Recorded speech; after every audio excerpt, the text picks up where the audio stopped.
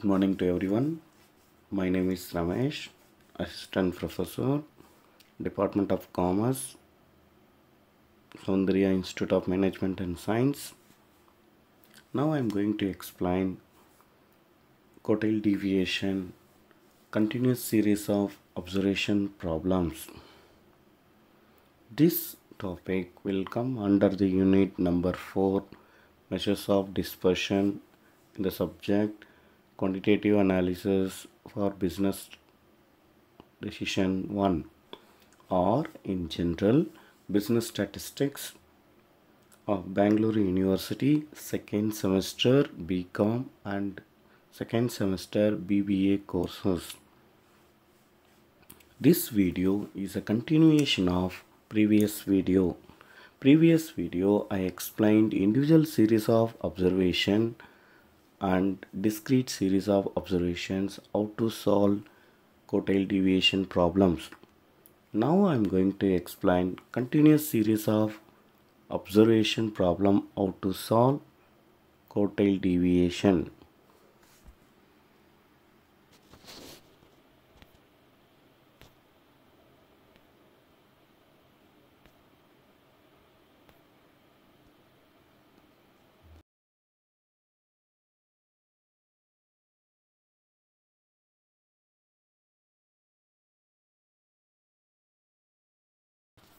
I'm taking this problem. It's a continuous series of observation. We know very well how to solve this problem based on median concepts. The given problem will be written in the vertical form. Then we need to find cumulative frequency. 8 will be written as it is. 16 plus 8 equal to 24 22 plus 24 equal to 46 30 plus 46 equal to 76 24 plus 76 equal to 100 12 plus 100 equal to 112 6 plus 112 equal to 118 so total frequency and cumulative frequency of the last value will be same. So the n value is correct. Then this is a continuous class interval so we need to find out q1 class as it is of median. So here q1 and q3 we instead of that we can find q1 class and q3 class. Q1 class how to find? Q1 class equal to 1 fourth of the nth term n is here 118 so we can substitute 118 divided by 4 29.5 29.5 where it is lies it lies between 24 and 46 in that maximum value will be considered. That row is called as q1 class. Now q1 class equal to 20 to 30 in that we need to find out q1 q1 formula equal to l plus n by 4 minus cf divided by f into i. Now l equal to lower limit of the q1 class. N by 4 118 divided by 4 29.5 cf equal to 24 cf how will you find here in cf column previous value of q1 class. Here q1 class is 20 to 30 for that cfl is 46 for that previous value 24 so cf equal to 24 f equal to 22 frequency of the median class. I size or difference of the median class or q1 class so value substitute 20 plus 29.5 minus 24 divided by 22 into 10. Then simplify 5.5 divided by 22 into 10. Then simplify will get 5.5 divided by 22 into 10 will get 2.5 plus 20 will get 22.5. In this way Q1 will be calculated. Similar way Q3 class also we can find out q3 class equal to 3 fourth of the nth term. 3 fourth of the nth term is 88.5 it lies between 76 and 100 in that maximum is 100 for that row we can select it. That is q3 class equal to 40 to 50 here I explained so q3 class equal to 40 to 50 q3 formula is L plus 3n by 4 minus CF divided by F into I. So L equal to 40 lower limit of the q3 class. 3n by 4th of n equal to 88.5 then CF equal to 76 CF here only find previous value of the cumulative frequency column of q3 class. I equal to 10 because class interval size here i is 10 so L value substituted 40 plus 88.75 minus 76 divided by 24 into 10. So 88.5 minus 76 will get 12.5 divided by 24 into 10. 12.5 divided by 24 you will get 0.5208 into 10 will get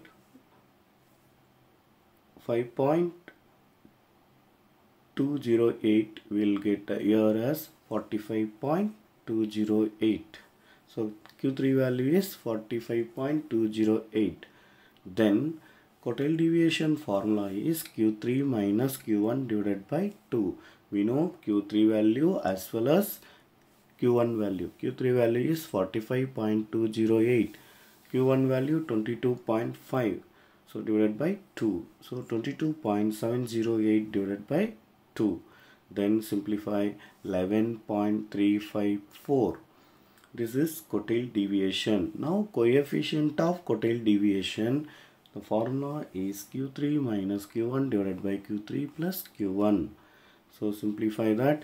45.208 minus 22.5 divided by 45.208 plus 22.5 then simplify 22.708 divided by 67.708. if you simplify this you will get here as 0.3353 we will be getting. This is the way we can able to find out quartile deviation. quartile deviation what you have to find? First q1 q3 then quartile deviation then coefficient of quartile deviation. Then we will take another one problem. This problem is clearly indicates that it is a inclusive class interval. Whatever we studied in unit number 3, so all the applications will be used for unit, unit number 4. Inclusive you need to convert as exclusive class interval. Suppose if it is given less than cumulative frequency problem also, you need to convert as exclusive class interval more than exclusive class interval uh, unequal class interval if it is given then we need to convert exclusive class interval here in this problem is inclusive class interval is given. How will you find that first class interval upper limit is equal to the second class interval lower limit? Similarly second class interval upper limit equal to the third class interval lower limit. Likewise if it is continued then we can say it is called as exclusive class interval otherwise it is called as inclusive. Here 40 to 44 next class interval 45 to 49 next class interval 50 to 54 so here there is no continuation. So it is called as inclusive class interval. So i'll be written in this format. First inclusive class interval we need to convert as exclusive class interval in this form. Lower limit of all the class intervals separate by 0.5 upper limit add by 0.5 so we will get inclusive class interval into exclusive class interval. Then frequency will be written as it is 5 8 10 11 9 7 so total if we added capital N equal to 50 sum of all the frequencies. Then CF here very important because median we have found the same concept will be applicable so that in quartile deviation we will find out cumulative frequency so first value as it is will be returned. Then 8 plus 5 equal to 13 11 plus 13 equal to 24 10 plus 24 equal to 34 9 plus 34 equal to 43 7 plus 43 equal to 50 in this way CF will be calculated. Again I will remember here continuous class interval type. So we need to find out q1 class then q1 q3 class then q3 then we can go for the quartile deviation and then coefficient of quartile deviation. We know that how to find q1 class. Q1 class formula is 1 fourth of nth term so here n is 50 so 50 divided by 4 we will get as 12.5 12.5 the value is lies between 5 and 13 in that maximum value is 13 for that row will be selected.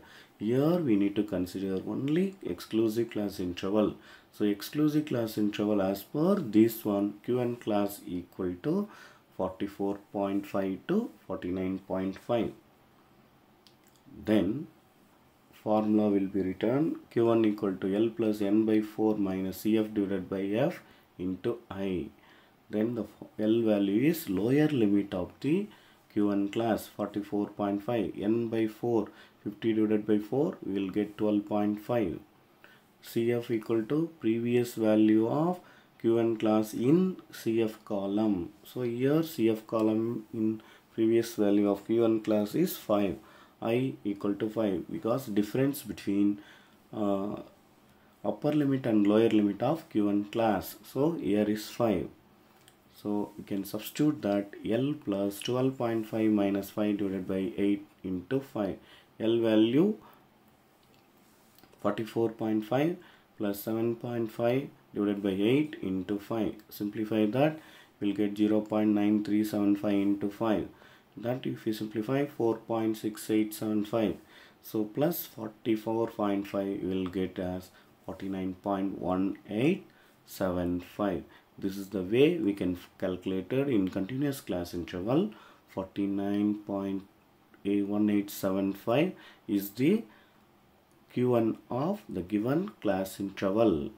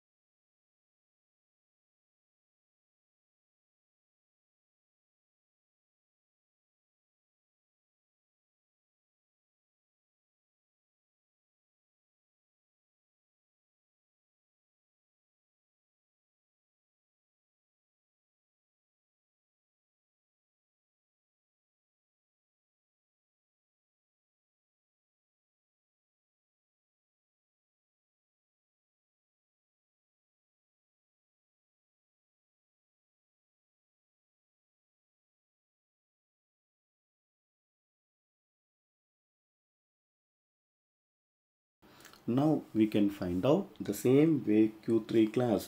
Here place is not sufficient. So next slide I have shown that Q3 class equal to 3 fourth of nth term. 3 by 4 of 50 is we will get as 3t7.5. So it lies between uh, 34 and 43. In that maximum is 43. That row will be selected for Q3 class. Here Q3 class is 59.5 to 64.5. Here I have shown the calculation. So now we can use the formula L plus 3n by 4 minus CF divided by F into I. Now we can find out what is L lower limit of the Q3 class 59.5 3 times of n by 4 that is 37.5 then CF is cumulative frequency in column previous value of Q3 class 34 F equal to frequency of the Q3 class. I here difference or width of the Q3 class. So we substitute in these values 59.5 plus 37.5 minus 34 divided by 9 into 5 substitute the values. Then 59.5 plus 3.5 divided by 9 into 5 then simplify 0.388 into 5 then simplify we'll get 1.944 then plus 59.5 will get 61.444 this is the way q3 will be calculated now q1 is be calculated. Q3 also calculated. Then we can find out quartile deviation. Quartile deviation formula is q3 minus q1 divided by 2 so q3 value 61.444 minus q1 value 49.1875 divided by 2 simplify 12.2569 divided by 2 that if you simplify will get 6.1284 quartile deviation value of this problem is 6.1284 now we are going to find out coefficient of quartile deviation. Q3 minus q1 divided by q3 plus q1 q3 value 61.444 minus q1 value 49.1875 divided by 61.444 plus 49.1875 then you get 12.2565 divided by 110.631 so again if you divided this value 0.11078 this is the way quartile deviation and its coefficient will be calculated. Again I will I will make you to remember whatever we studied in third unit that is different types of class interval type converted into exclusive class interval. Few example I have shown. Similar way any kind of class interval in different format is given. First we need to convert as exclusive class interval type. Without converting exclusive class interval type if you solve problem is not correct then they won't give marks at all.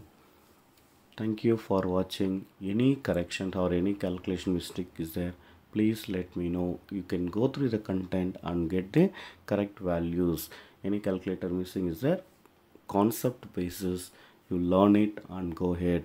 Anything is there let me know. Thank you for watching. We'll see in the next video. Have a nice day for all. Thank you very much